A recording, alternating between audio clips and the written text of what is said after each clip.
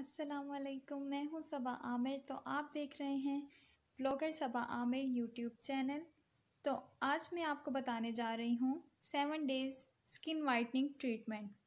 तो स्टार्ट करने से पहले आपको रिमाइंड करवा दूँ कि मेरे चैनल को सब्सक्राइब करें और बेल आइकन को प्रेस करें, ताकि मेरी हर नई आने वाली वीडियो आपको मिल सके और आप इसे देख सकें। चलें स्टार्ट करते हैं अमेजिंग रेमेडी को। जी तो इसके लिए हमें चाहिए मैदा लेंगे हम दो चम्मच चावल का आटा लेंगे हम दो चम्मच। और हम मिल्क लेंगे दूध ले लें आप आ, कोई भी दूध ले सकते हैं लेकिन मैंने लिया है गोट मिल्क।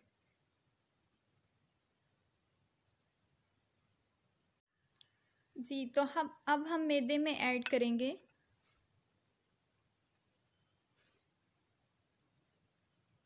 चावल का आटा। इसके बाद हम दूध ऐड करेंगे का पेस्ट बनाने के लिए।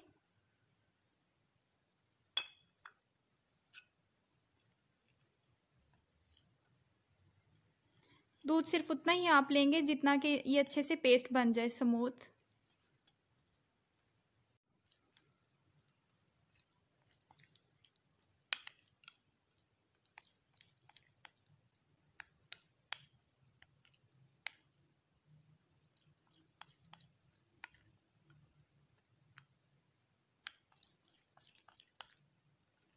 जी तो इसका पेस्ट बन गया है। अब मैं आपको लगा के दिखाती हूँ।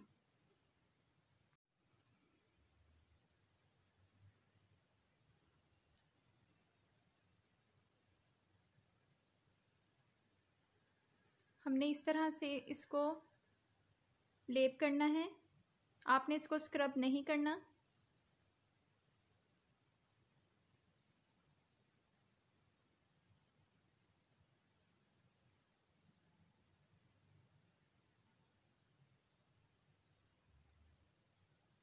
हमने इसे लेप कर लिए अच्छे से आपने थिक लेयर में इसको जो है लगाना है। इसको आपने टेन मिनट्स के लिए लगा रहने देना है। उसके बाद हम गोट मिल्क में कॉटन को डिप करेंगे। अच्छे से इसको डिप करके इसके ऊपर इस तरह से प्रेस करेंगे।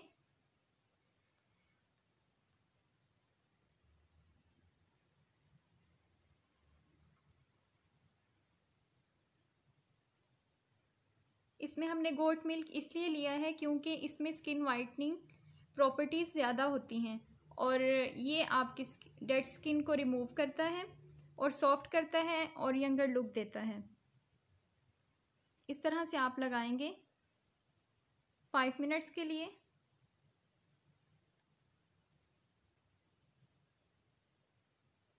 जी तो मैंने पाँच मिनट के बाद हाथ धो लिए हैं। तो इस रेमेडी को आपने सेवन डेज़ करना है और सेवन डेज़ के बाद आपको खुद फ़र्क नज़र आएगा।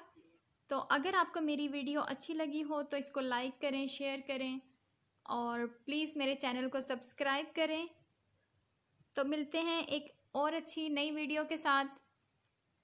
तब तक के लिए अल्लाह हाफिज़।